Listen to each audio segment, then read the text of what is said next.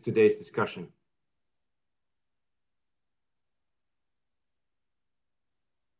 Before we get started, just a brief reminder regarding the housekeeping rules, and you may seen some of those pop up on your screen before we kicked off just now. If you're not one of the speakers, please make sure that your video cameras and microphones are switched off throughout the event. Otherwise, my colleagues will switch them off automatically. Secondly, we will be using Slido to take questions for our panelists, so please don't write your questions via the chat box. Also, when submitting your question, make sure that who the question that you state who the question is for, of course.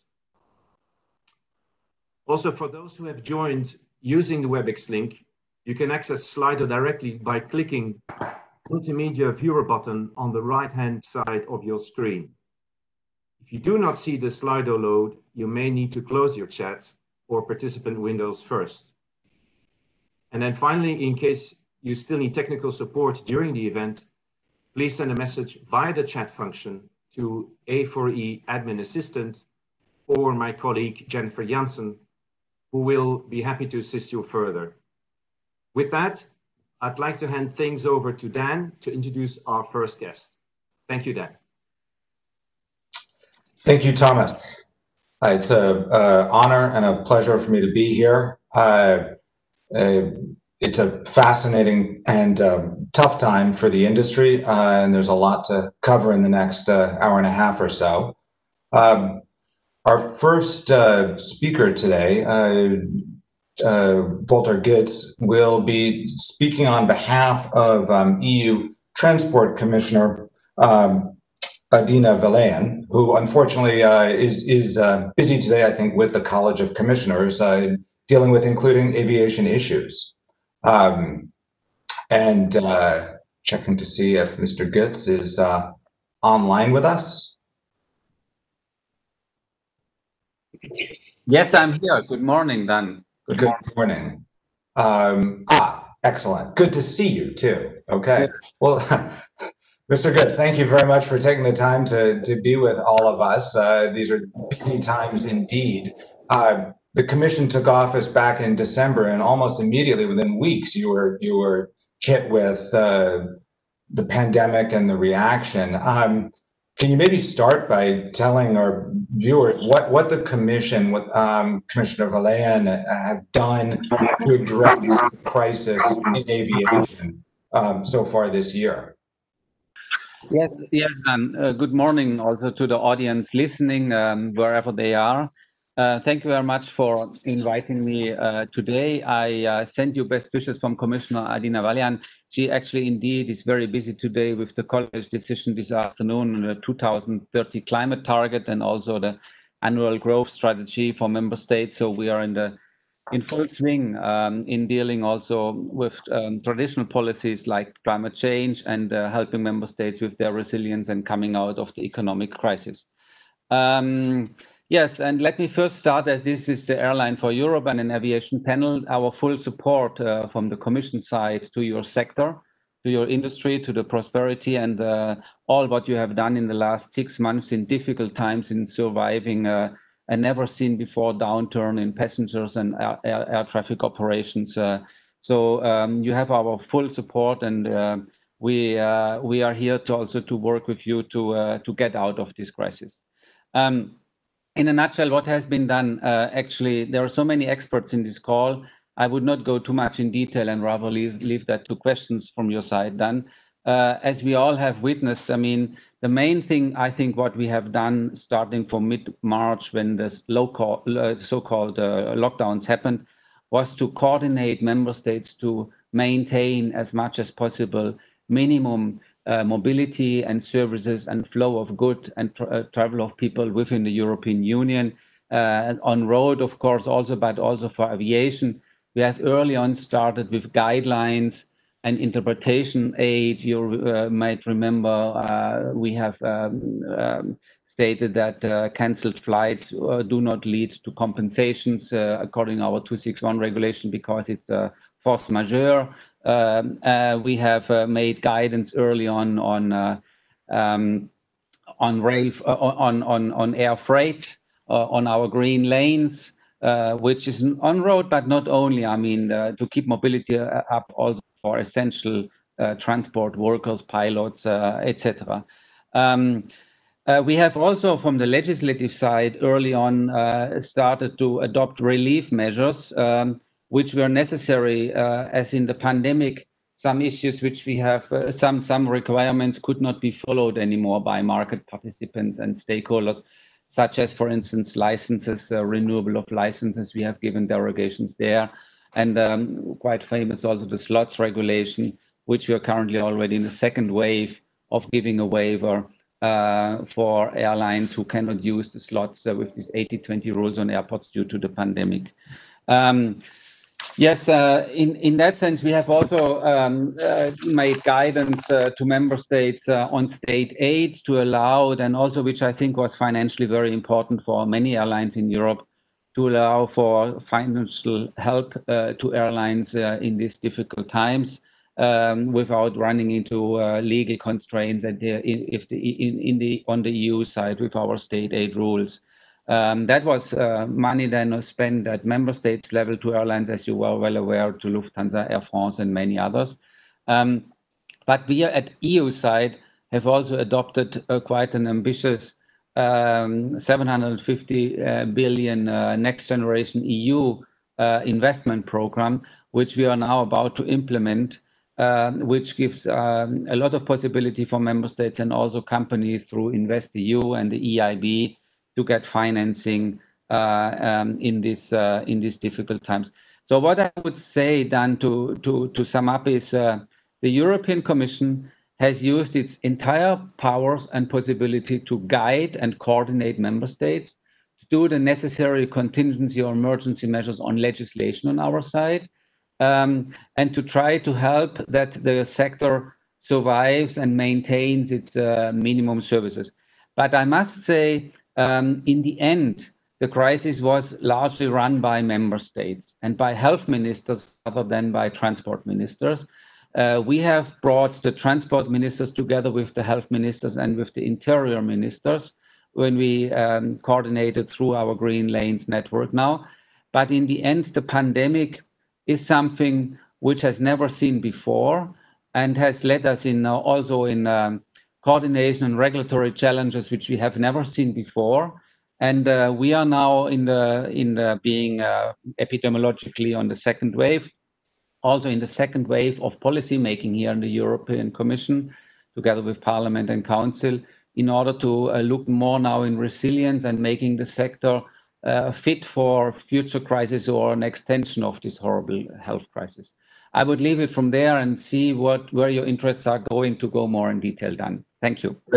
Thank you. Um, you spoke a lot about what the Commission has done for the industry, and clearly there have been a lot of measures taken. Can you talk a bit about passengers? Um, flights are resuming, have resumed. Passengers are still nervous, um, and in part, they're confused. Can you talk also a bit about what's being done to um, standardize things like testing, uh, policies on when people leave an airport, arrive at another airport, and and how all of that is being uh, efforts in in those areas? Yeah, Dan. Thank you. That's a very good question. I see here in the little picture that Patrick Ky is in the call. Uh, hello, Patrick. Um, he has played a key role, of course, in uh, giving guidance um, together with our ECDC, which is the health uh, agency in in in Stockholm. Um, we have adopted already, Patrick Ky has adopted on his side, but the Commission has also, together with EASA and ECDC, adopted guidelines or recommendations in May on how to maintain safe and healthy uh, air travel uh, in the pandemic, which where we have made um, recommendations to uh, member states and to airlines and airports about wearing masks, hygiene in the plane and on the ground, um, ensuring physical distancing, etc. So um, in that regard, um, I think we have it help, has helped a lot um, to give some principles and uh, and and uh, procedures uh, to airlines so that they could resume business when the lockdowns ended then in June. But um, I would say um, the most important thing what passengers need is trust. Uh, trust that the flight takes place, trust that they are healthy and safe in the plane, of course. Patrick is listening, that's the most important thing. But trust also that um, that the um, the money which they spend for uh, buying a ticket is in the end not um, is in the end not uh, bringing the service which they have booked. You know, so and in that regard, um, um, the trust to bring trust back um, to the uh, sector. we are a bit at the limit in our transport policy making because in the end it's interior ministers and health ministers who had uh, sometimes border closings or flight restrictions or simple warnings like uh, do not travel over summer because you might not uh, safely come back. Uh, there were also, of course, these repatriation efforts in May, in, in, in beginning of the crisis. Uh, so that these are things which on the one hand are well justified uh, from the epidemiological situation. I don't want to judge on that. This is the business of health ministers and interior ministers. But these are issues, are, of course, which have a huge impact on aviation, on all transport modes, but particularly aviation. Um, because uh, as long as, for instance, quarantine measures are out there uh, and also changing from week to week with different regions in Europe and beyond, um, it is very, very difficult to maintain um, aviation um, against a, let's say, persisting crisis um, which um, goes very much to the to the detriment of trust in the system uh, of passengers. Yeah. Okay. Yeah. Yes, clearly there's a, an enormous amount that's far out of your control. Um, I know I know your time is limited this morning, so um, and and I'd like to remind everyone online that we can take questions by Slido.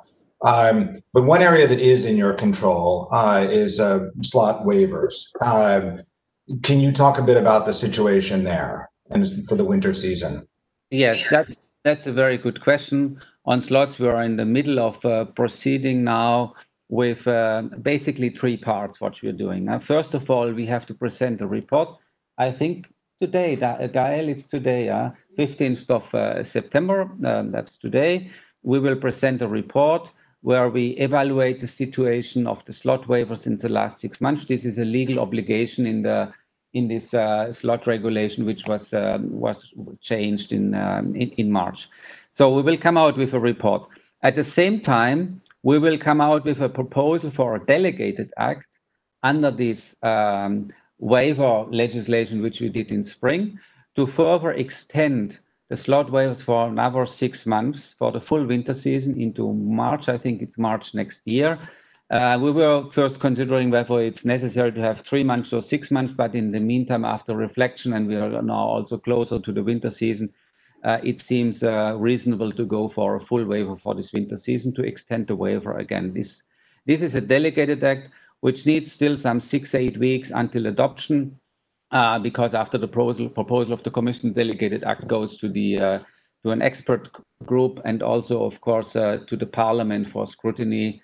Uh, so uh, the but the sector knows now that we are going for another six months extension, and in parallel, then we are preparing um, a targeted amendment, and that will be a legislative proposal, co-legislation, to the slots regulation, where we will make sure that should this crisis persist, and we don't, nobody knows where we are in spring next year, we would like to avoid that we go from waiver to waiver to waiver under the current regulation, which in the end does not allow uh, the European Commission to um, impose certain um, conditions uh, to another waiver. You know, I mean, waiver has advantages but also disadvantages because it heavily inter interferes in a well-established uh, slots management system.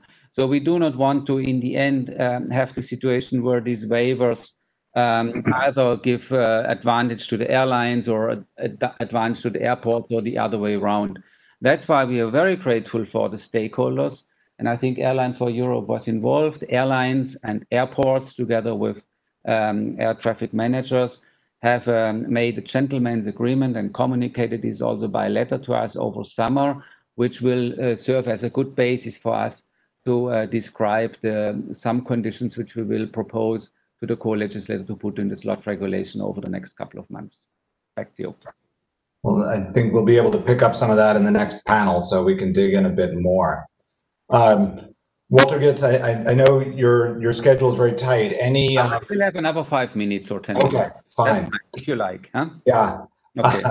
Um, how, you know, you've just laid out a rather complex process that that this all has to go to. The the airline industry situation really is, uh it's it's a house on fire. Uh, is is the um, mechanisms of the commission, are they adapted to this? I mean, just what is doable in the real time under the pressure that the the industry faces? Mm, that's a good question. I I don't think that the yes, the commission is of course ready to act within its um, uh, treaty uh, treaty um, competences. I mean, we are the guardian of the treaty, and we have the right of initiatives. We can take all necessary initiatives, uh, which we also have done and we will continue to do. So um, I think the commission is well-placed to do from the European side what is necessary to, on the one hand, tackle and on the other hand, prevent these kind of crises in the months to come or years to come. The limits which we have are more uh, with this complex system of member states competences, national competences. For aviation, of course, also global context than.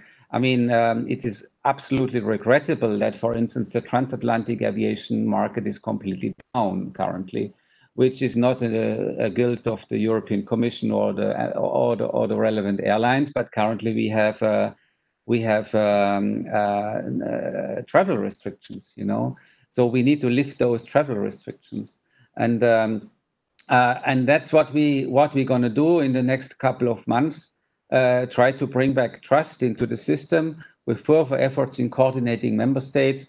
We have just last week adopted also another recommendation, which was more in the hands of Ylva Johansson, our uh, Commissioner for Internal Affairs, so that member states coordinate when they adopt Um, uh, quarantine measures, or they call zones green, red, green, red and and and and and so forth. Um, maybe one word more also forward-looking, um, what we're gonna do. You know, aviation is a sector which is of course also an important client for our twin twin transition on greening, uh, Green Deal and digitalization, which are flagship initiatives for this uh, commission. We will continue to work on that. Um, today, uh, the commission will adopt the climate target for 2030, where we will go for at least 55%, which is a very ambitious climate target.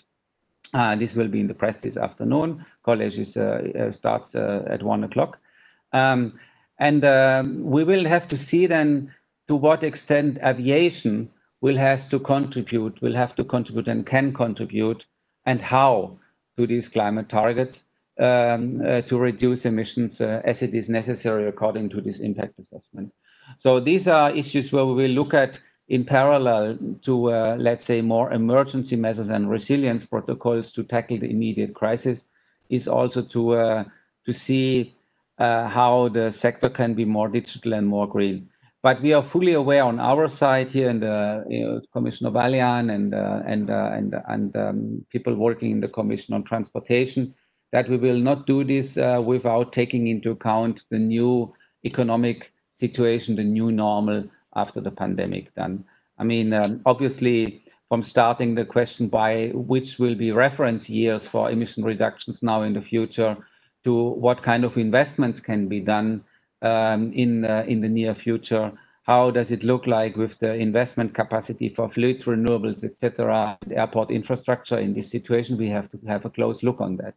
Um, what we would wish to see is an uptake of new technology and clean fuels uh, in airports and for airlines uh, in Europe in the years to come, so that we get technological progress into the sector to tackle these twin crises, the twin twin twin projects.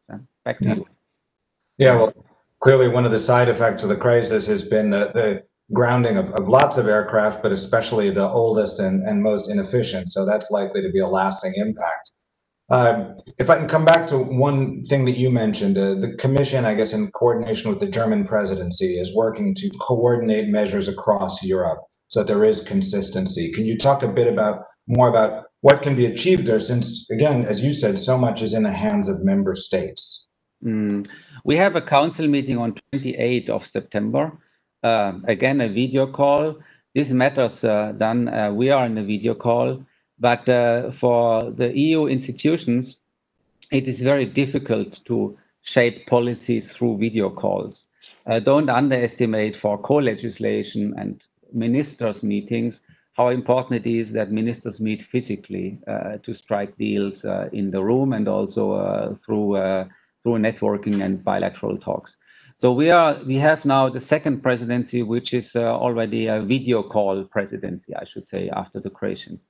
So we will see. Uh, um, the German ministry has uh, the German presidency has made very good proposal and progress in the Transport Council to come forward with a pandemic um, uh, resilience protocol or pandemic paper in order to um, further specify and um, further harmonize in, an, in a non-legal sense, but in a political sense, what member states can do in order to keep traffic um, up and the sector resilient uh, during this crisis. We, from the Commission side, are fully supportive to this. We very much look forward to have this discussion with the Council on 28th of September. And we, on our side, also consider that the strategy on sustainable and smart mobility, which we will adopt in December, which will outline for the years to come our transport, future of transport um, ideas, will have a good um, emphasis and portion of it also to the resilience of all modes of transport, including aviation, during such crises and to get out of these crises.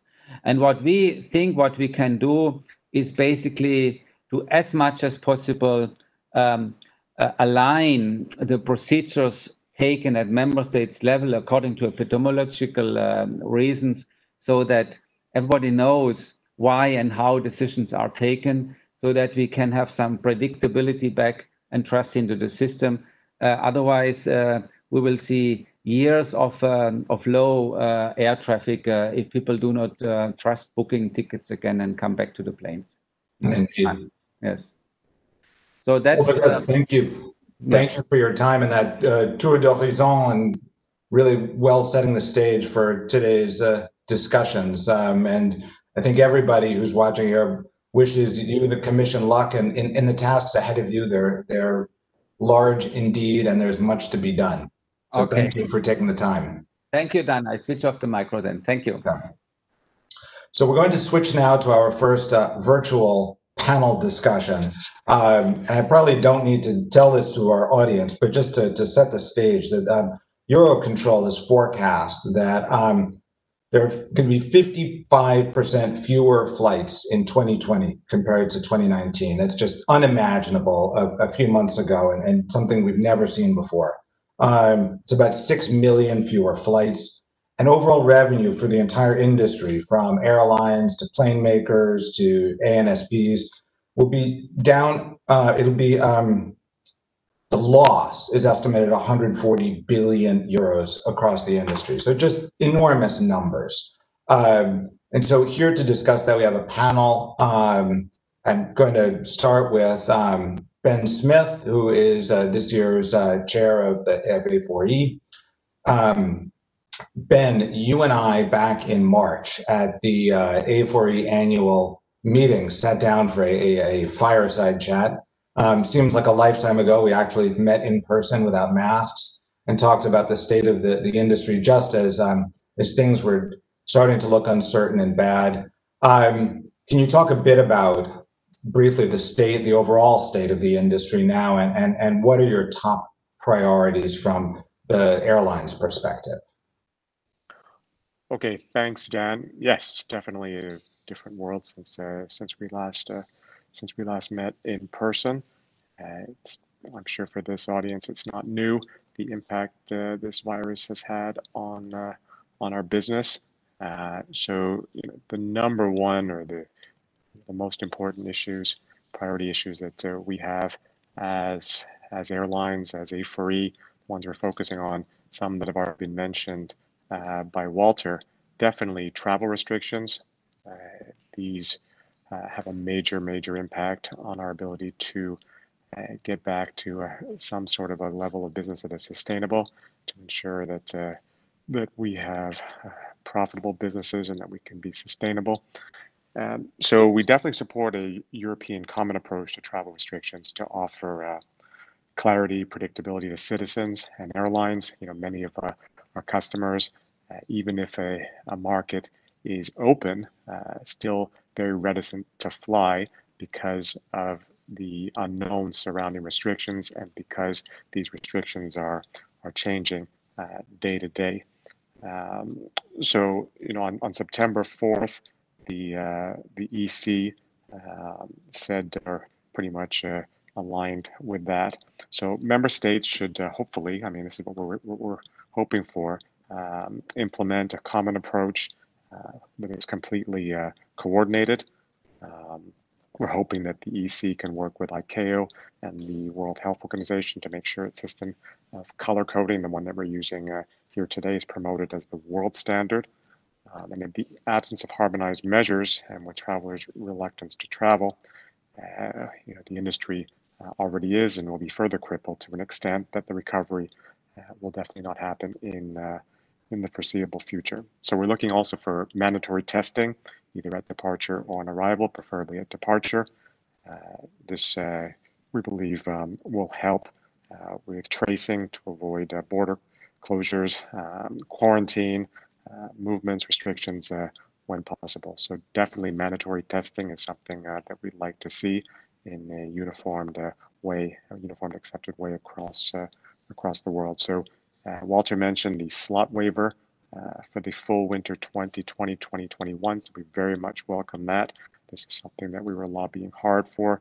Uh, you know, the words that uh, he mentioned today, uh, very comforting so that uh, our airlines can plan appropriately, especially, I said, with all these things I just mentioned here, with all these unknown travel restrictions and unknown whether mandatory testing will take place, and the comfort um, and I say ability to confidently book, which is still relevant from our customers, uh, this is great. So we can uh, we can ensure that the resources that are needed to keep uh, our airlines going are appropriate, and that we don't uh, fly unnecessary schedules, unnecessary flights, just to ensure that uh, our airlines maintain their uh, their valuable slots. So that is that's great news. EU 261 also a priority, which Walter mentioned. So we definitely need a review of this policy uh, it needs to be balanced in the interest of in the interest of passengers and airlines. You know, with all these new, uh, you know, you know, all these new requirements for us to cancel flights relatively close in for all kinds of reasons. Uh, 261 uh, during this period is uh, is extremely, extremely uh, cumbersome and very, very has a has a big imposition on us financially. Um, he also mentioned the Green Deal and uh, support for sustainable aviation fuel development, which is very important for us. Uh, specifically, what, what uh, some of you may know in France, this, um, this uh, citizens' uh, uh, proposal, which could result in a new tax of between 30 and 400 euros, depending on the class of travel and distance flown, do not support emission reductions and are in fact counterproductive as uh, they for sure deprive us from finances that would be otherwise invested in environmental projects. So we're very, very much against uh, this uh, this proposal. And then equally distortive is the in, in the Netherlands this uh, Greenpeace's demand uh, to cap CO2 emissions with a linear reduction over the years. Um, this would put the airline sector uh, in the Netherlands on a totally unequal footing compared to their competitors, obviously with job losses and loss of connectivity, um, serious consequences.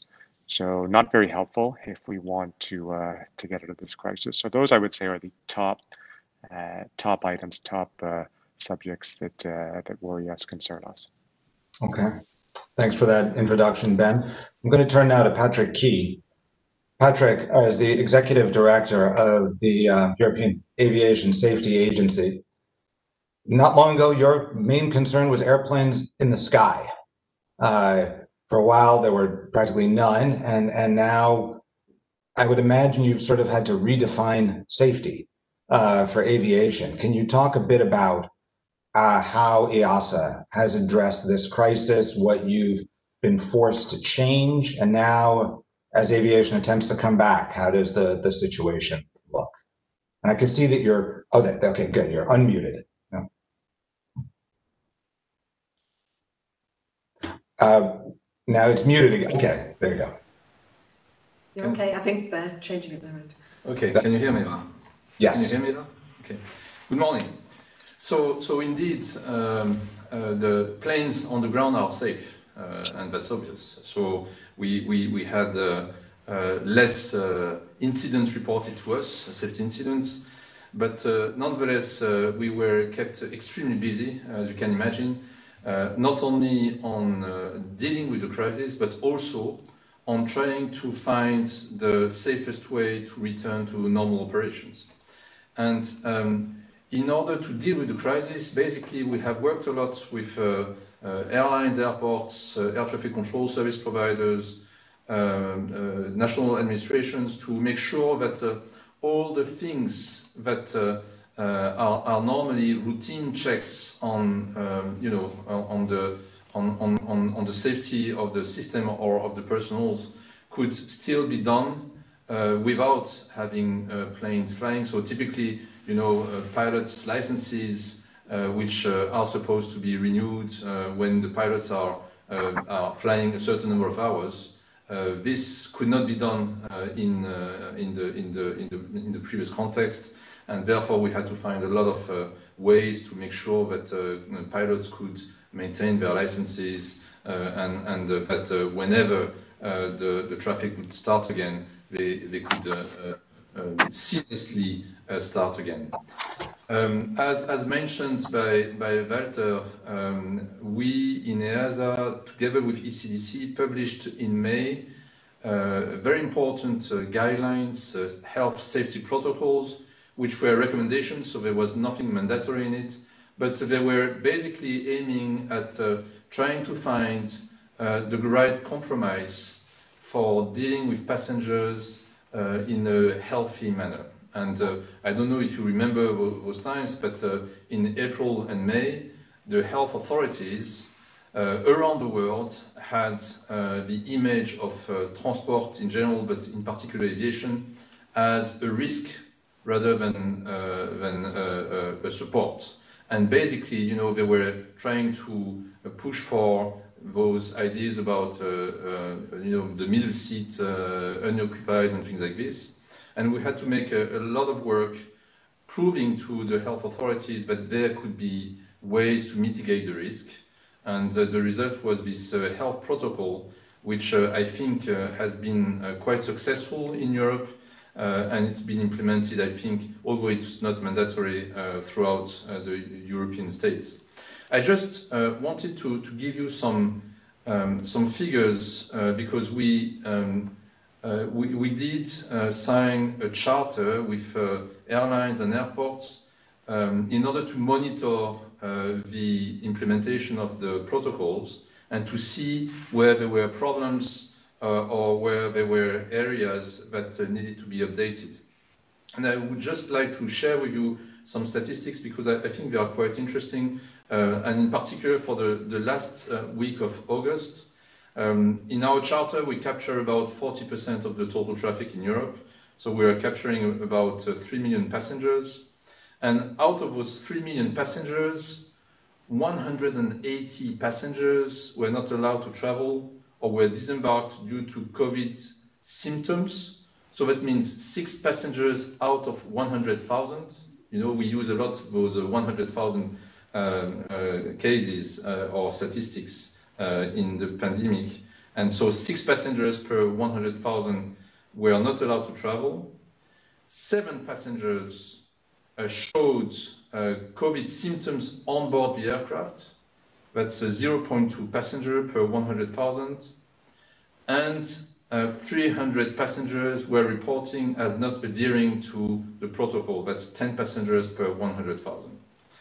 On top of it, uh, we monitored very closely the infection rates among airlines and airport staff, where we showed that, uh, in fact, there was no specific peaks uh, for airlines and uh, airport uh, staff uh, compared to the national average rate of infection. And why did I do I give you all those data, all those statistics? Basically, what they are showing, in my view, is that um, uh, air transport does not generate new cases. Air transport is uh, as healthy a system as anything, and certainly healthier than most of the most of the the, the, the other transport modes, and and also uh, healthier than most of the common things that people do, like go, going grocery shopping and so on and so forth. And I think that. Um, you know, when, when we started uh, traffic again in, in, in June, passengers were fearing of flying because they didn't know, you know, whether they would be uh, catching the disease on board an aircraft or, or at an airport. I think now we have proven that people should not fear flying because they, the, the probability that they catch the disease when they are flying is very low.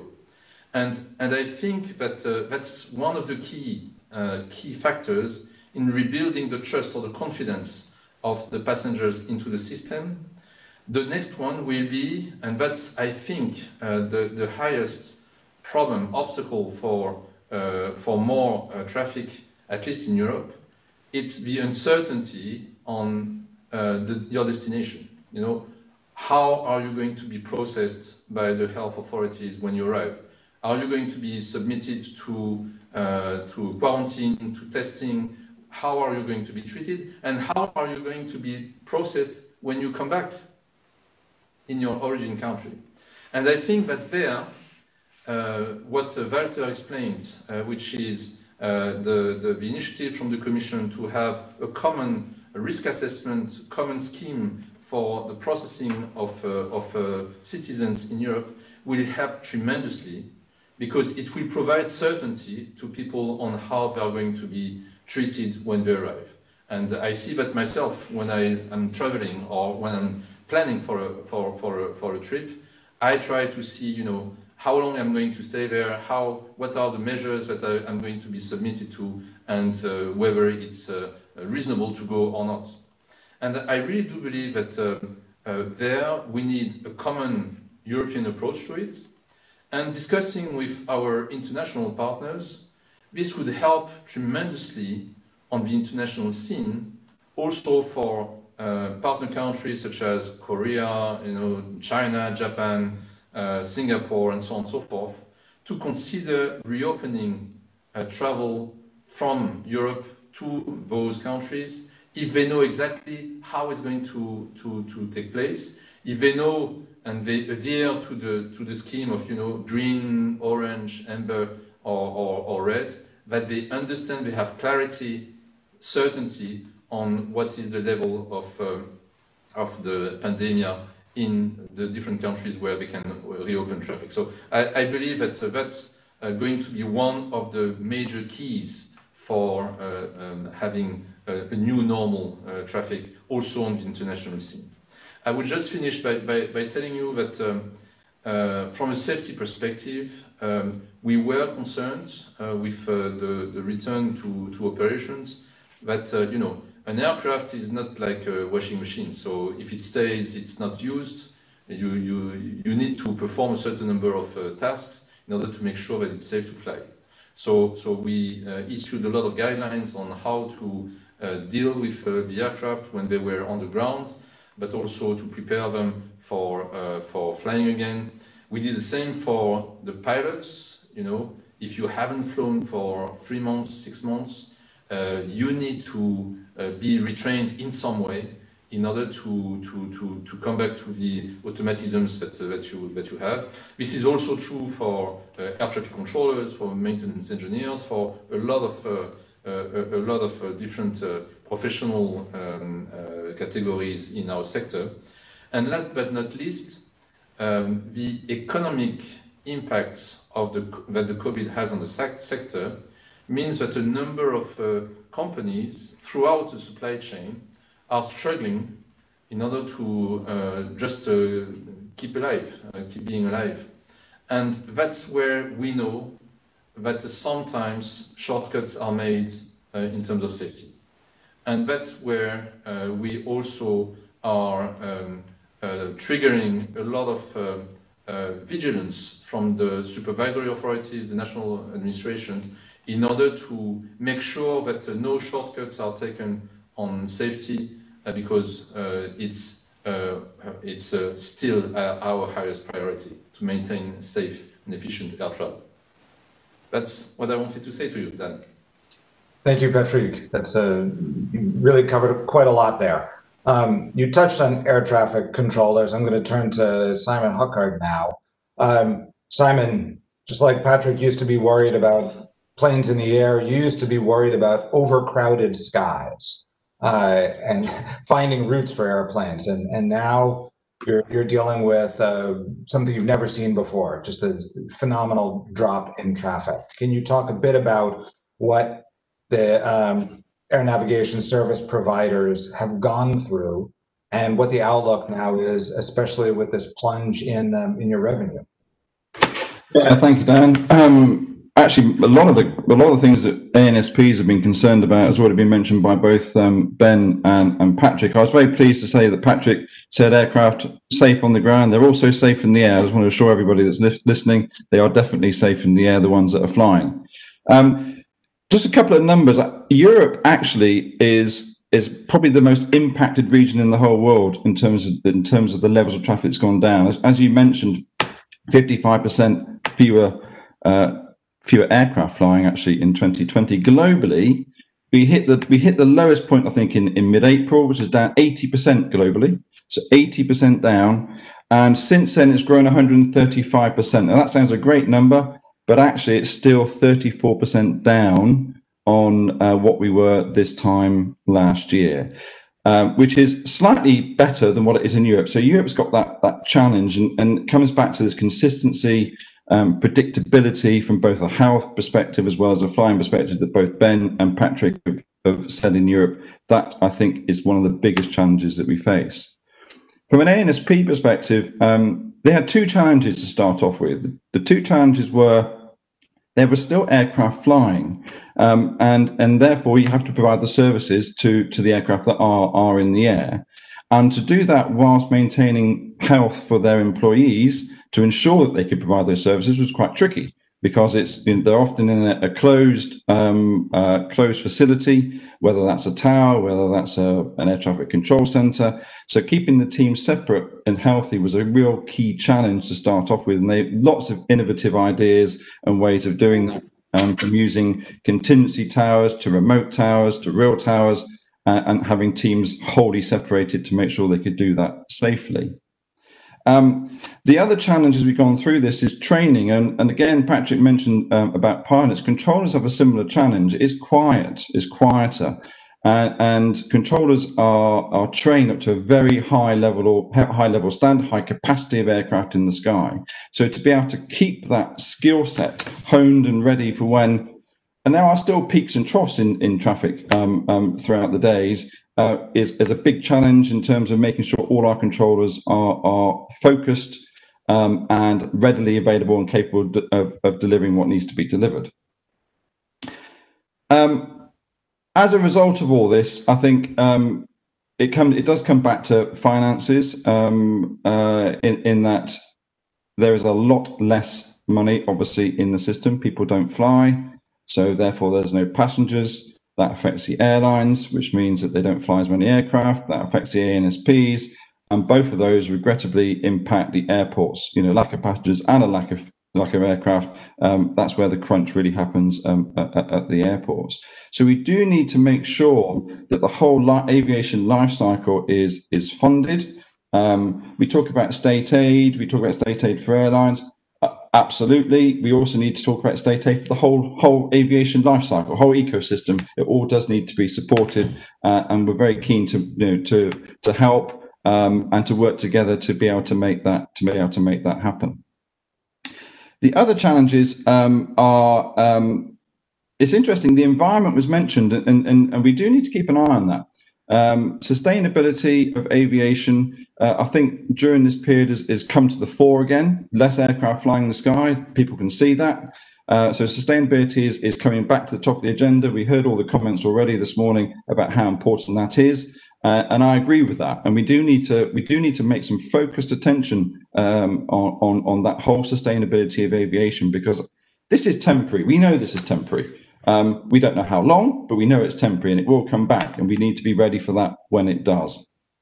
So that's um, so that's um, um particularly important. And the last um, one I mention here now is the temporary nature of of this pandemic. We do need to keep an eye on the future, and that's the whole of the aviation industry needs to keep an eye on the future. Everybody is making necessary decisions about cost cutting, uh, whether that's furloughing, whether that's redundancies, whether that's you know all, all, all, all, the really unpleasant stuff that we're all having to do. This traffic will come back.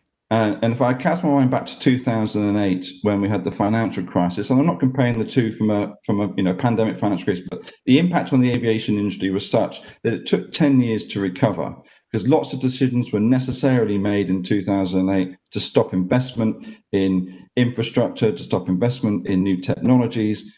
If we do that again and we don't keep an eye on the future, when the recovery does come, we won't be in a position to be able to maximize that opportunity as, as the whole of the aviation industry. And that's a, that's a, that's a real concern that we do, all of us uh, need to keep an eye on, particularly, you know, we know that ATM has a different business model to airlines. Um, airlines have the ability to be agile, to be um, to far more commercial and, and, and flexible and be able to do things very quickly. When you're dealing with national infrastructure, the programs are often longer uh, uh, to be able to get into service. So to be able to bring those two models as close to possible as together to enable the whole of the industry to be as flexible and agile as possible, I think is a real key for the future. And I think technology plays a big role in that. Simon, thank you very much for, for that perspective from CANSO and, and the air navigation service providers. I'm going to turn now to uh, Javier Marin, who is um, Airports Managing Director at AENA um, for the, the airport perspective. Uh, uh, planes are empty and so are airports. Um, I've been through a couple myself and it's a bizarre experience these days. And uh, so from the passenger perspective, things are, are upended and your entire business model, um, which relied on having planes and passengers, is uh, in trouble. So, can you give the perspective of you know the world as you see it from on the ground at the airport? I think you're starting. Uh, th thank you, Dan. Good morning, everybody. Well, airports are suffering as much as the other agents in the in the in this industry of air transport. Uh, you know, since January, we are losing uh, 1.2 billion passengers at our airports in Europe. And uh, according to the prevision we did in July, we are going to lose 64% of our passengers at the end of the year, and we are going to lose 67% uh, of our revenues at the end of the year. Well, as I say, and this is a provision we did uh, in the association in ACI in July, but uh, these figures uh, are optimistic if we take into account how September September is going.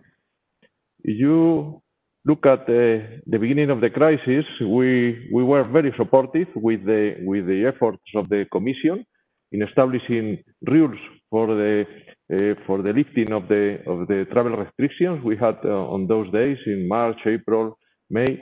Uh, we were cooperating and in uh, close cooperation with the rest of the agents, with the airlines, with the ground handlers, with our national regulators. And uh, finally, under the leadership of EASA and ECDC, and I want to, to thank Patrick Ky for the leadership uh, of, of uh, EASA to get a common regulation just to, to open the airports, to start flying. And um, my view is that uh, we got a good result.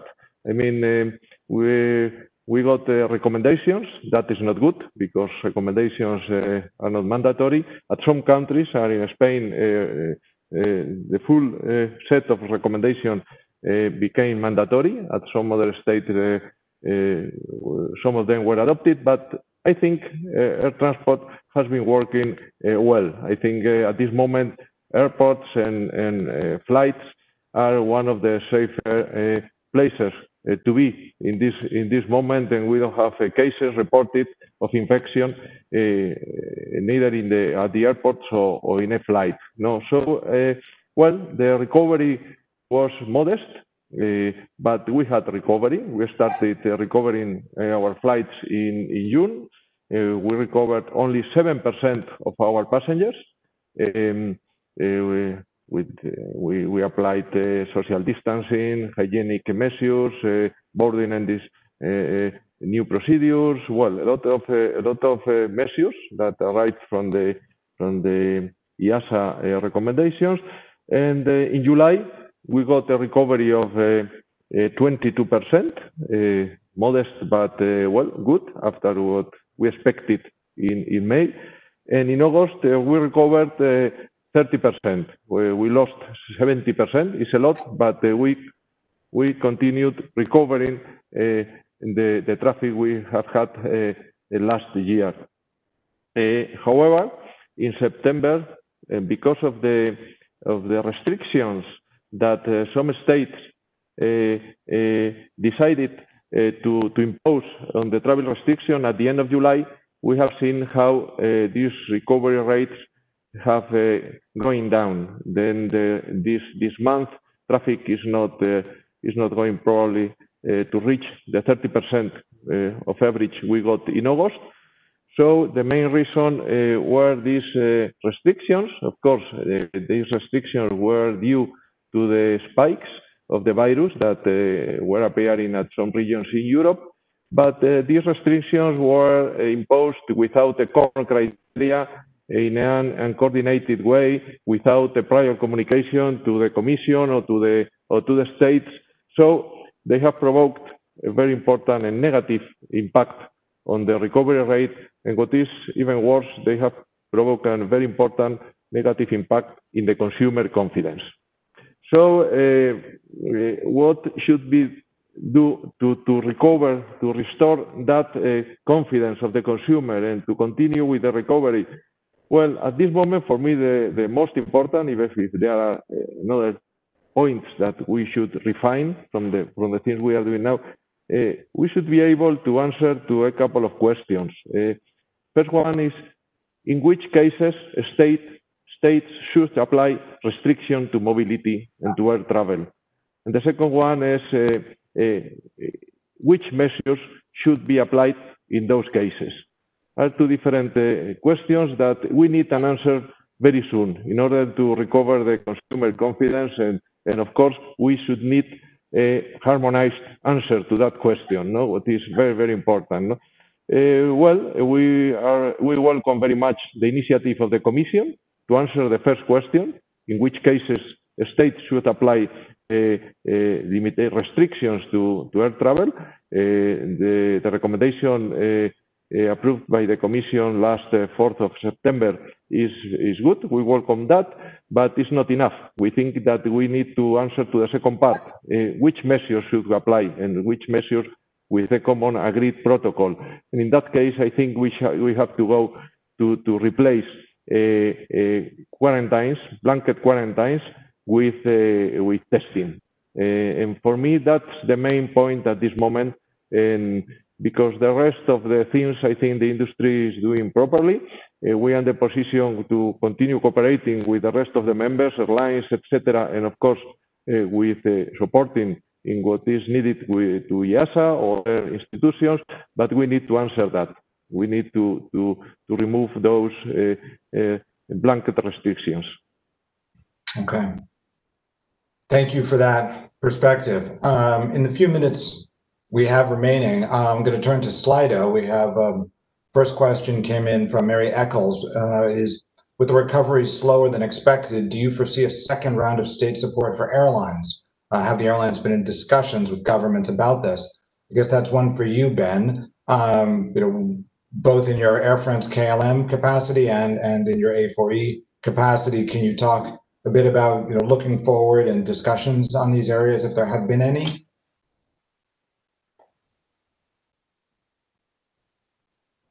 sorry. Okay, there we go. Uh, oh, definitely. I think right now, what uh, from an Air France KLM perspective, and for many of the airlines that uh, A4E represents and other airlines around the world, that uh, the main focus today is on is on ensuring that uh, our our cash, the exit of our cash, uh, remains as small as possible, but also on transformation efforts. There were already many um, transformation programs in place at some of the larger carriers. Uh, prior to the crisis, those are being accelerated.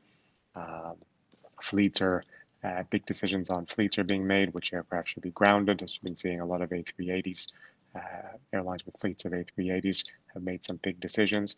Uh, but in terms of uh, future aid or additional aid uh, by governments or others, I think today the uh, the main focus is on how do we get through this short-term crisis as quickly as possible or as smoothly as possible, um, and how do we ensure that we are best set up for the medium and long term.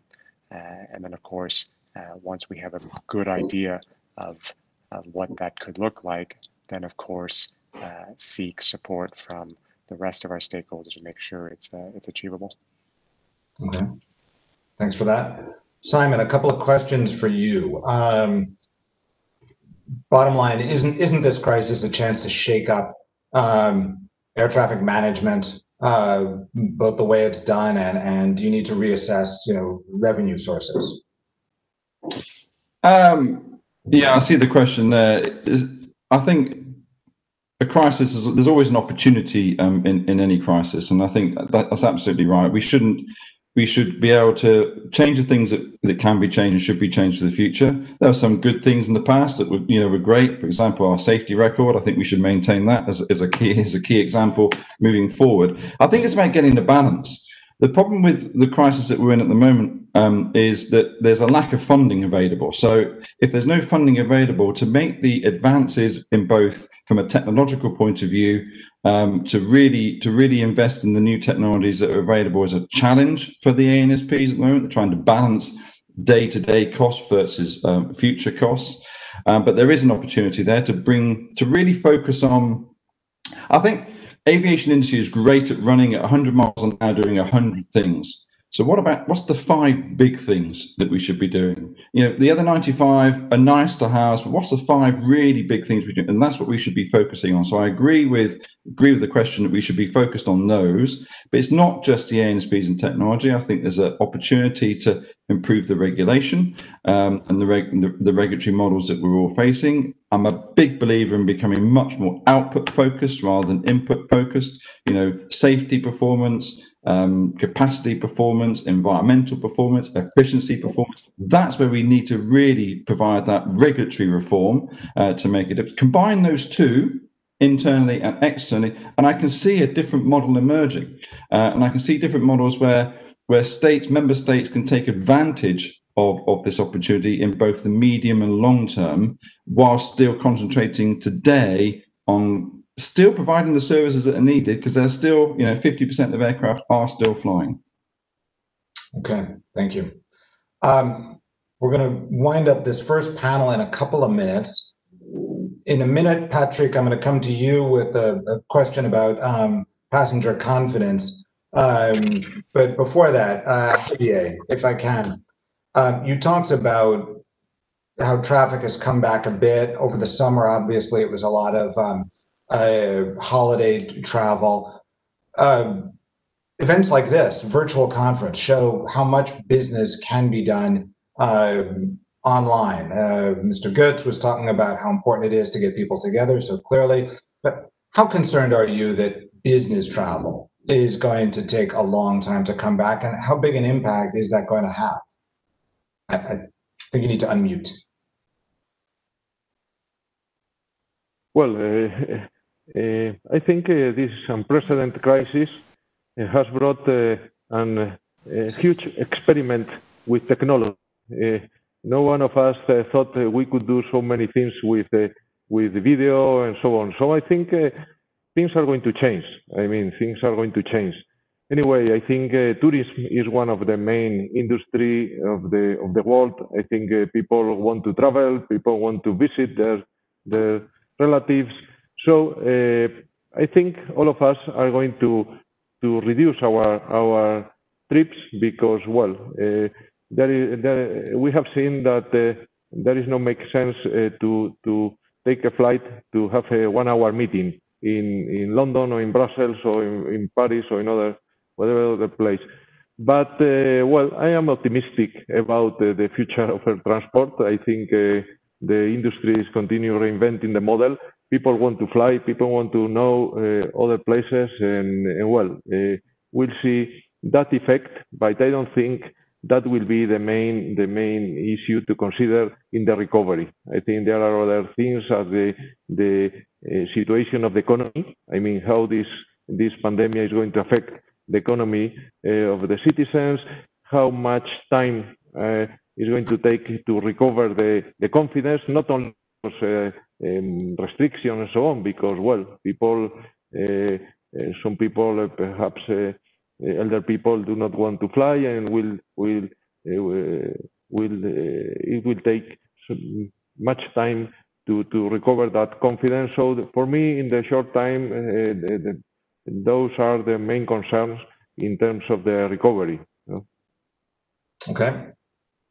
So, Patrick, I'm going to come to you for the last word because safety in aviation is the last word. The statistics you rattled off sound impressive. Um, you know, and I think six, nine months ago, no one outside this community had heard of a HEPA filter. But how do you get out the message about the safety of aviation and how do you overcome people's concerns about getting on an airplane?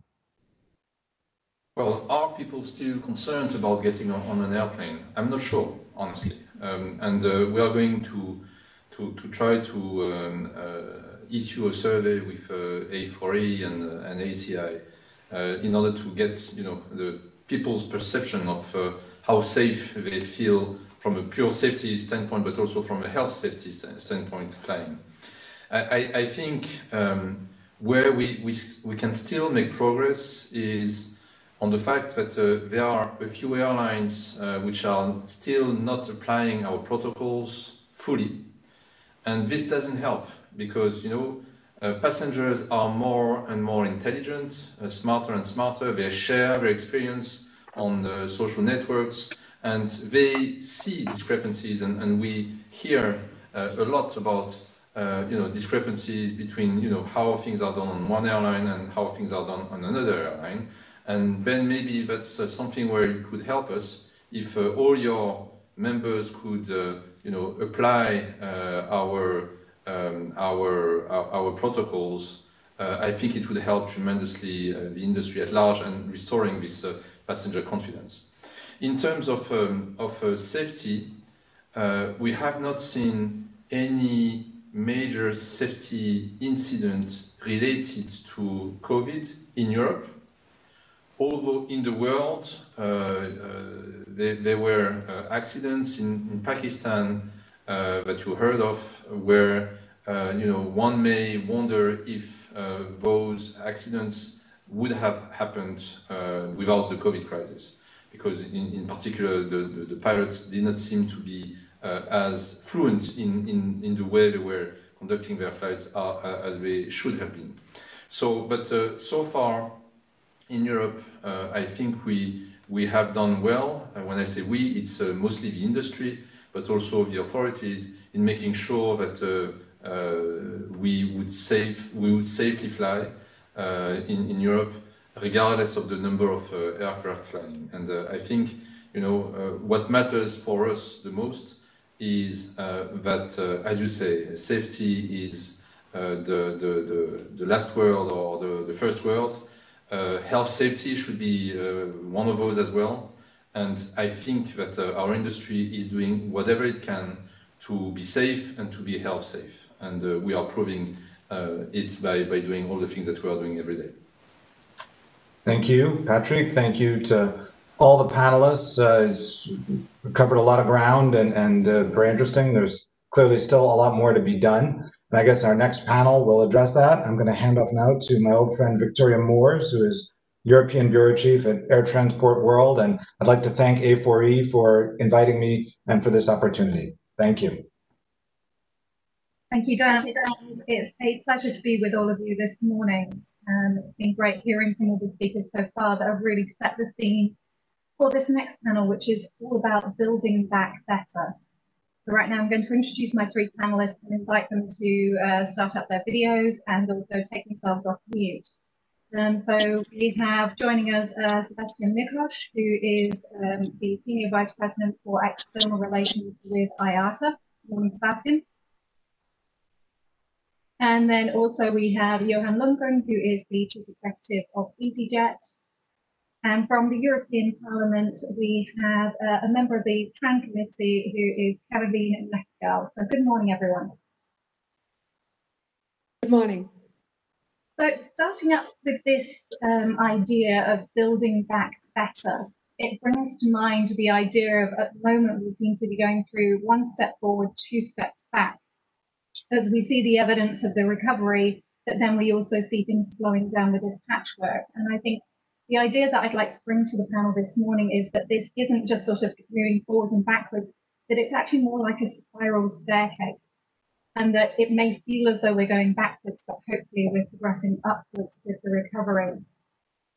And sort of turning to, to what we heard this morning, uh, we heard from Mr. Götz from the Commission, who was saying that the Commission has tried to do its best to keep things moving. We've had um, amendments, minor amendments to EU 261. We've had relief measures in terms of licensing, in terms of state aid, and also this idea of uh, the European funding, which might be available to move things forward. So um, if Sebastian is here from IATA, can I just check in with you? Sebastian, if you're online, I'm not actually hearing you just there.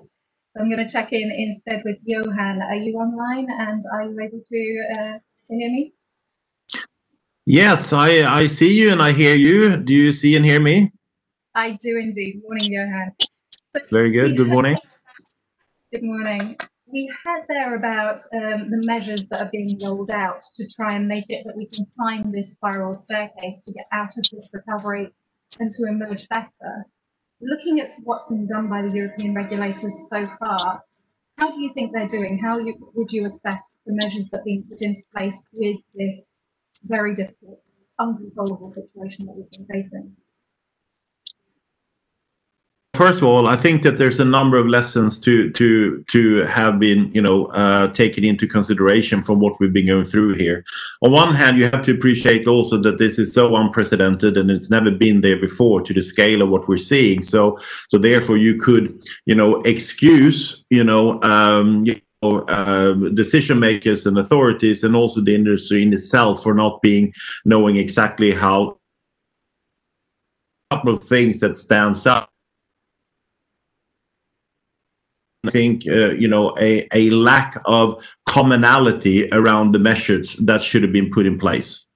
And, and, you know both when it comes to the to the discussion about testing as an example but also the the negotiated policies around the travel restrictions. Uh,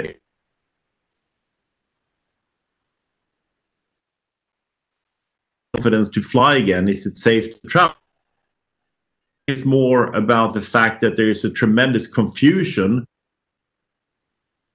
in in in Europe uh, that exists around these restrictions, travel restrictions and quarantines that's been introduced, uh, air corridor introduced and being removed. So we know from service that we've done that actually more fusion among consumers that makes them to that's a tremendous difficult situation to to operate in as an airline so one is that there needs to be a common approach when it comes to the things that has to do with the testing and then also with with the the, the uh, measures like quarantine but also and i must say that when you're looking through the the the various state actions and the governments measures and support for individual tremendous difference in its approach.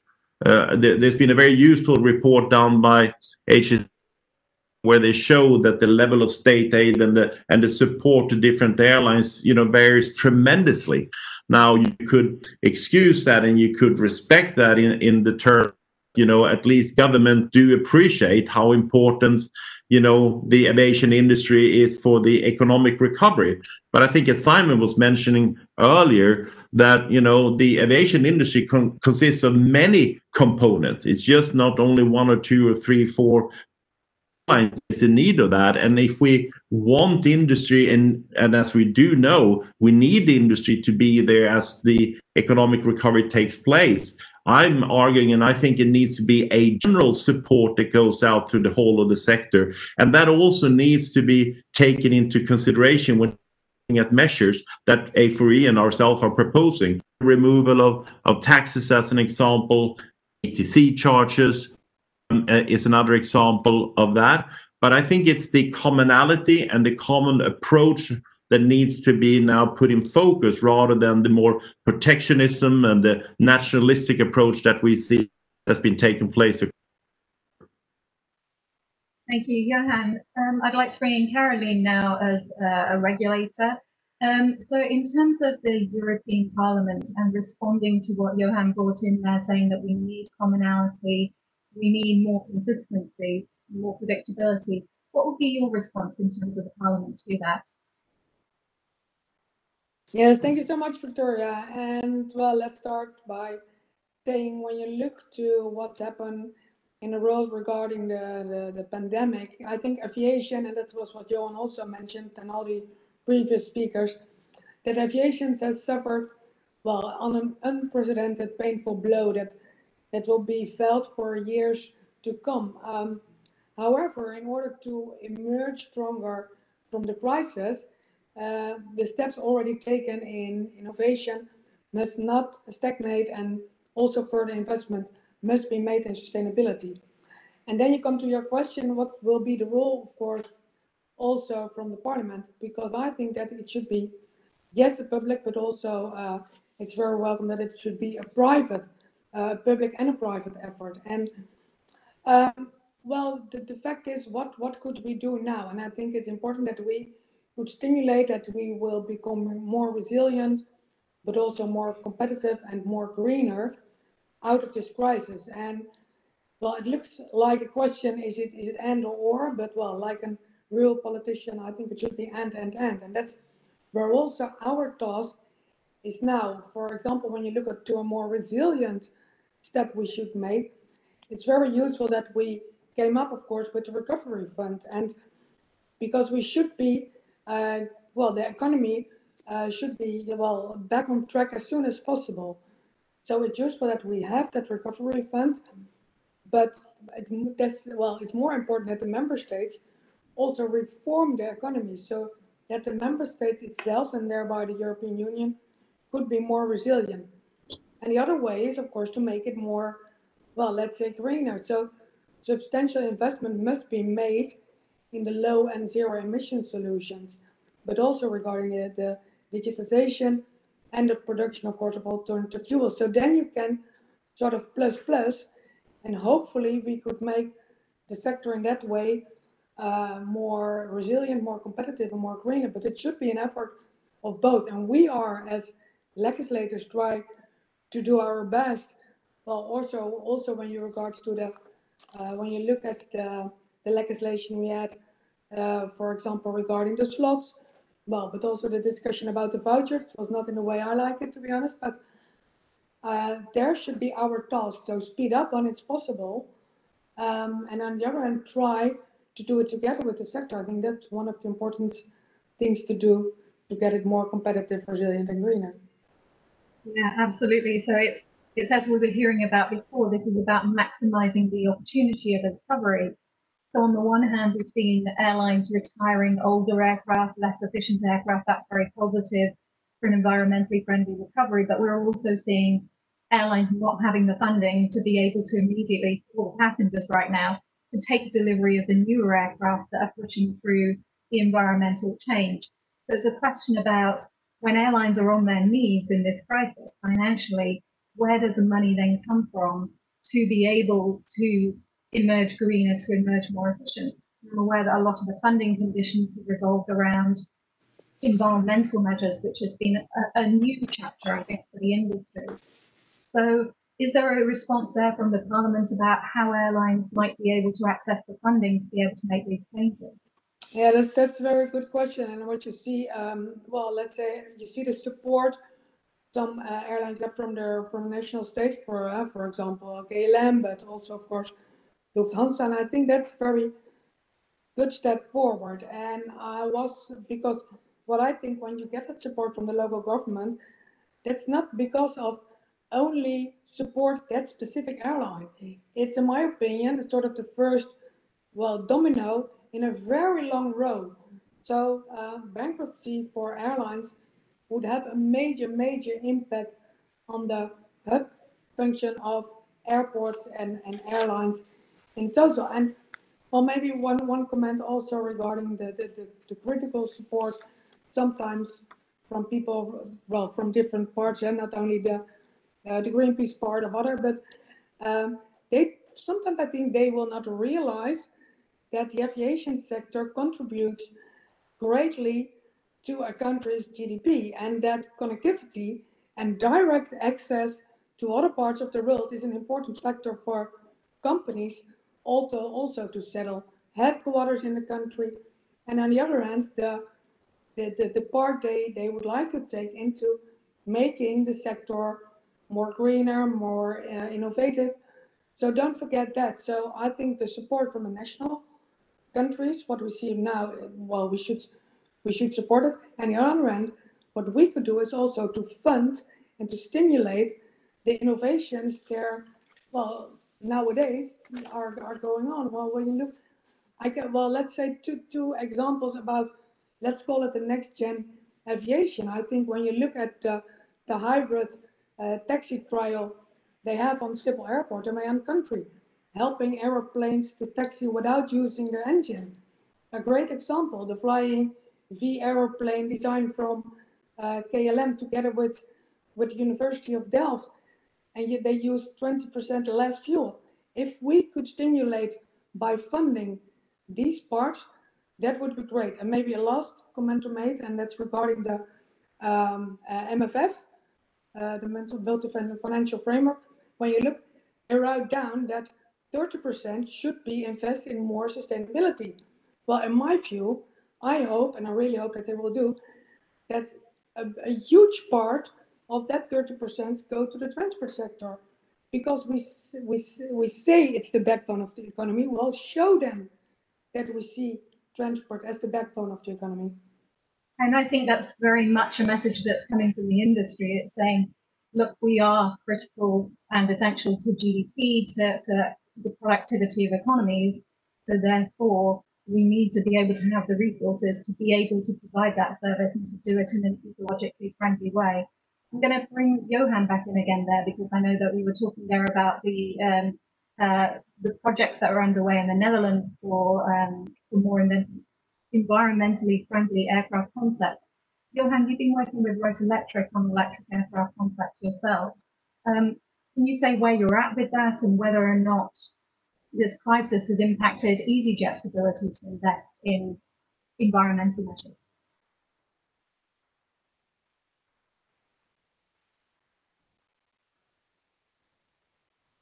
emissions from the fuel that we we have do you hear me now? All right, yeah. So uh, yes. to, to remind, EasyJet was the first major airline who decision to offset the carbon emission fuel we're using. We're seeing that as an as an interim step before you get on to the more groundbreaking technologies that that uh, will come. And I think that we have reconfirmed our commitment to both our partners when it comes to doing this work because this will become more important rather than less important through this pandemic. We did a survey among customers who says that the around sustainability and the climate change is the number one topic number one topic post the pandemic.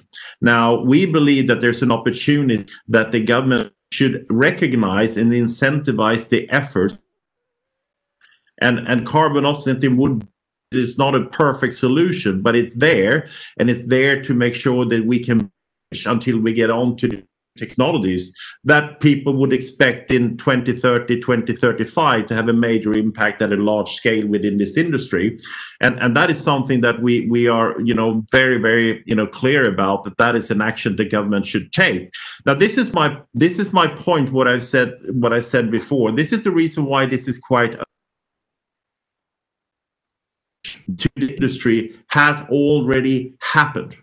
And the the solution isn't that airlines and the industry should just take on more and more debt to try to manage its way through this? Because that means that you know unless those are written off and they might be i don't know there might be some friendly governments out there who are very close to their uh, inefficient flagship carriers that will allow that to happen. But unless that is the case you know there will needs to be funds to make that transition into those technologies and that is a conscious effort that the government needs to make in order to make that happen.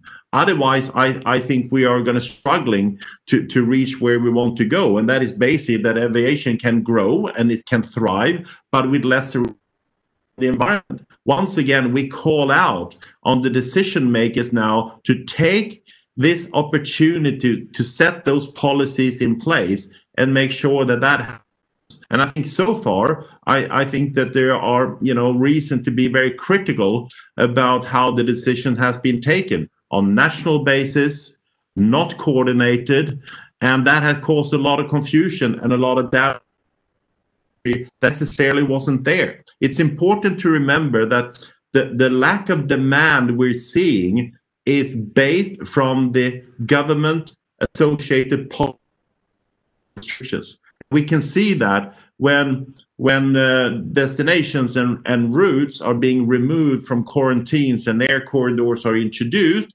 sales go through the roof. So people want to travel, they want to fly. It's all about making that happen in a coordinated effort by the decision makers across Europe. And they also have now the opportunity to make the transition into aviation being greener and having less impact on the environment with efforts such as carbon offsetting in the short term, but also then get on to the new groundbreaking tech that is going to need investment, going to need funds. Mm-hmm. So what you really need to see is, um, rather than what we heard this morning from the Commission, that the health ministers and the member states took this into their hands, this idea of the traffic light system, of much more clarity that will help spark demand. Sparking demand will help aviation recover and it will give you the resources or part of the resources to be able to invest into the new technologies that have to be in place for, for the future. I'm just going to do a quick check-in to see whether or not Sebastian is on the line. Uh, so Sebastian from IATA, if you're around, uh, please check in now. And yes, I'm I'm I'm here since since since the beginning of the discussion. Uh, apologies, Sebastian, I wasn't able to hear you there at the beginning oh. of the discussion. So no problem. bringing you in now then, and also a reminder to the audience that please do go ahead and post some Slido questions because I'll come back to those in a moment. Sebastian, from what's been discussed so far, I mean, we've already covered a bit on funding, about the regulatory response and about technology measures. Whereabouts is IATA at on that? What would you really like to see happen to create a strong recovery? Um, so um, yeah, I was I was I was listening carefully um, the, the, discussion, and um, forgive me, but I'll be a little more pessimistic because um, you, we have been using. I mean, um, you you you have been using the word recovery uh, in this discussion. I. Uh, from our perspective, we are not at the stage of the recovery. We are still at the stage of the survival. so I would like very much to discuss the possibility of uh, uh, growing the market. What we see today um, uh, is that uh, as uh, as as uh, Johan was mentioning, there is a great demand and there is a confidence. We we've done a a survey uh, which we are spreading quite broadly um, the, the, results, but because 86% of travel of, of people who traveled since June feel safe on the planes with all the COVID uh, measures. So there is no problem of, of perception of the airlines. There is no problem of uh, willingness to to travel. But there is two things. First airlines are shrinking their capacity and and uh, uh, reducing their, their their their size. I mean, you know, every morning we hear about airlines uh, uh, laying off people and and grounding planes. Uh, but the second and maybe most important now is that we we see this effect of, of opening and closing markets. And in this industry, it's all about predictability. If you cannot predict, it's of course the, the, the, the financial way of running an airline, but it's mainly from passenger side. And what we are looking after is, of course, passengers.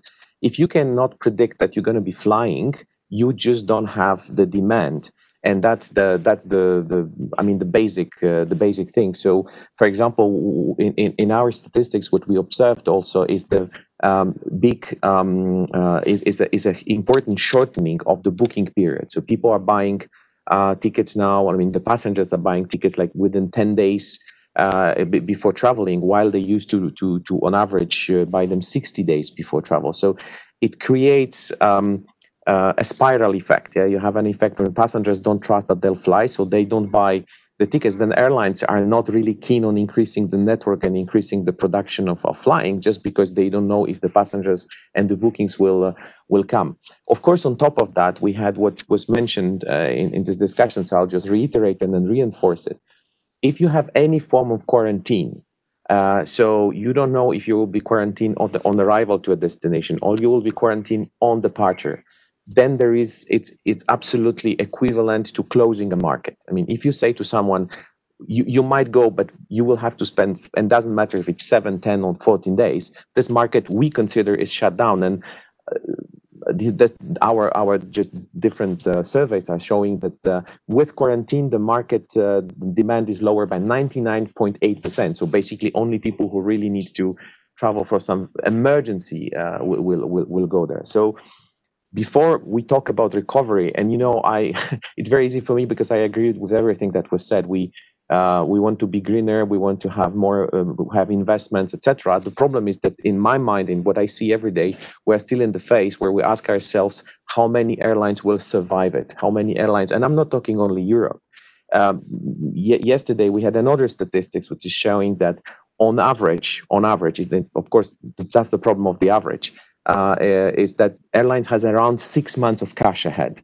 So basically, you have airlines who have none completely, and you have those who have some reserves. But if you take the average, it's six months. It means that if this situation of opening closing continues, we will see a situation of a second wave of of of uh, handing. Uh, I mean, know, going to the shareholders to ask for for for money, be it debt or be it any type of of waivers, but uh, of of fees. But airlines will just not not survive. So I believe that in the next months, we, I mean, and this is our priority, it's all about creating a framework which um, which allows uh, a sanitary response to a sanitary problem. Because today we see that it's even when we talk in ICAO about it, even if we talk with EASA or whoever, we might have a nice discussion, but at the end is the sanitary authority who says go, no go, and the Minister of Transport just have to follow what what's uh, uh, what's acceptable by sanitary authorities. So we need the testing. We are pushing very much for testing same system of testing for everybody. I could develop it for, for, for a long time, but generally what we want is to have one standard that will allow all passengers to travel between countries, between big hubs, without differentiation, most likely one test only on, on departure. So we have predictability. So even if the virus, which will stay, you know, the level are changing, we can still know that people, uh, our customers will be able to fly and therefore the whole system will have the money to finance, research, development, airports. Um, I mean, every, all the ecosystem that is around us and you know was growing so well together with us for the last uh, uh, I, don't, I don't know uh, before the grind, big financial crisis so at least 12, 12 years. That's that's how we see it. So this is why i'm a little more pessimistic on reco- using the word recovery. I would actually love to see recovery and have the debate about recovery.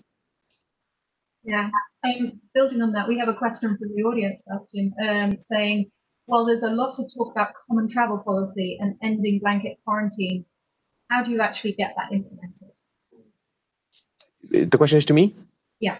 So um, we, we, we have to, uh, first of all, we have to see that there is a great progress in testing. So the famous PCR test, which was the test that uh, uh, used to be um, the, the most common until uh, until now, was uh, was quite long and required heavy he heavy uh, installations. What we are advocating is to create a system in which the, the fact of arriving of very new uh, antigen uh, tests, which are 15 minutes test, will allow the sanitary authorities, because again, it's, it's with them the main, uh, the main effort, to have a system in which just pre-departure you can be tested and considered safe.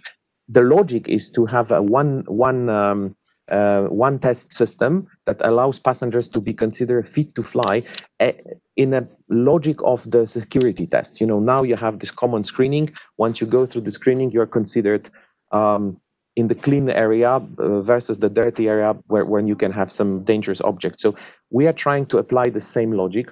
Of course, as IATA, we go beyond just the European problem because, of course, the intra-European problem is is, uh, is is the same. And by the way, it, the Commission and many European institutions are very strongly also advocating uh, for for for the testing. Uh, Airlines for Europe, I, I think I can say safely that we are all on the same on the same page. But what we need is to be able to have a standard which will not allow, uh, which will allow and be accepted by mutual countries. So our methodology, our answer to that is through ICAO, because ICAO represents all the states and has a, a, a, group, a subgroup with lots of medical advisors that is trying to promote a standard and recommend the standard. Of course, then the countries will have freedom to implement it or not. But what we believe is that if the 2021 countries, which are the leading countries, accept one standard, there will be a follow-up, a natural follow-up that will allow airlines to plan not only short haul but also long haul because one of the key issues today is that we have long haul who is who is closed uh, uh, and, and for me you know long, long, long haul is, is um, uh, one of the main elements that creates connectivity of course intra-european intra-asian connectivity is extremely important but when you cannot extract yourself from the continent, then it becomes uh, extremely difficult to talk about recovery. So one standard, one answer that will allow to have clear rules and not rules per country, per market, which which then of course we are also against any type of subjective judgment on who can fly where. This is why we have the Chicago Convention and this is why we have bilateral agreements that allow the skies to be open. Thank you, and apologies again for the. No, no, no, it's me. I'm, I'm sorry. Earlier.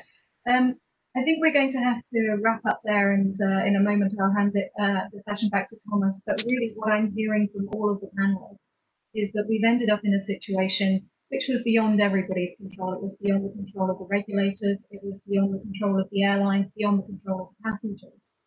But the common theme that seems to be coming through here is that if we're still in survival mode now, like Sebastian said, we really need that predictability for the industry to even begin to move forward. And I think going back to that spiral staircase metaphor, it seems as though the airlines could actually be the lower steps of that spiral staircase where we might be able to build some kind of economic recovery. So thank you very much to my panel of speakers, and I'll now hand you back to Thomas. Thank you very much.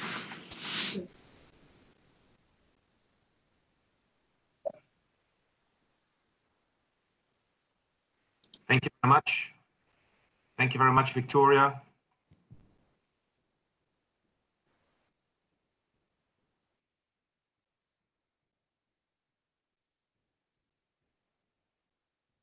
Thank you much, Victoria and Dan, for uh, first of all for moderating uh, uh, the um, uh, very interesting uh, sessions, the two panels. Um, thank you to um, all of the speakers uh, who have joined us today, and thank you for your valuable time.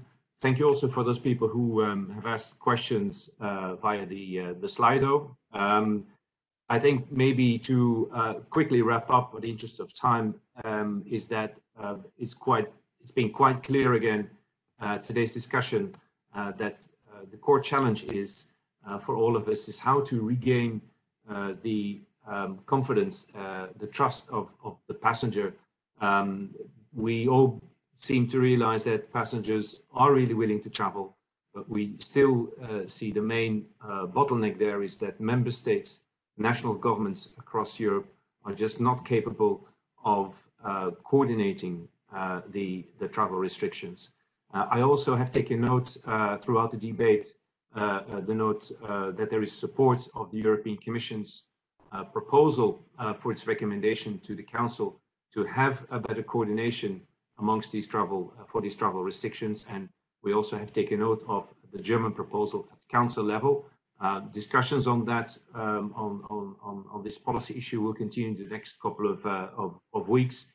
And um, uh, I would propose let's continue to uh, work together, all of us, uh, especially the next couple of weeks, to make sure that we have a successful outcome uh, from the Council, which in, in our view, I believe there is some common understanding, means not just a recommendation, but actually rules that are being implemented in a coordinated way uh, in which uh, um, quarantines um, are only being implemented if there's absolutely no other alternative, uh, and that we extend, of course, the the possibility for for testing that that makes sense. So at the end of the day, yes, indeed, it's not only about traffic of aircraft, it's also about um, load the load factor of, of the aircraft. I don't think it's been mentioned, but I think the average in Europe today, we have a load factor of 55%.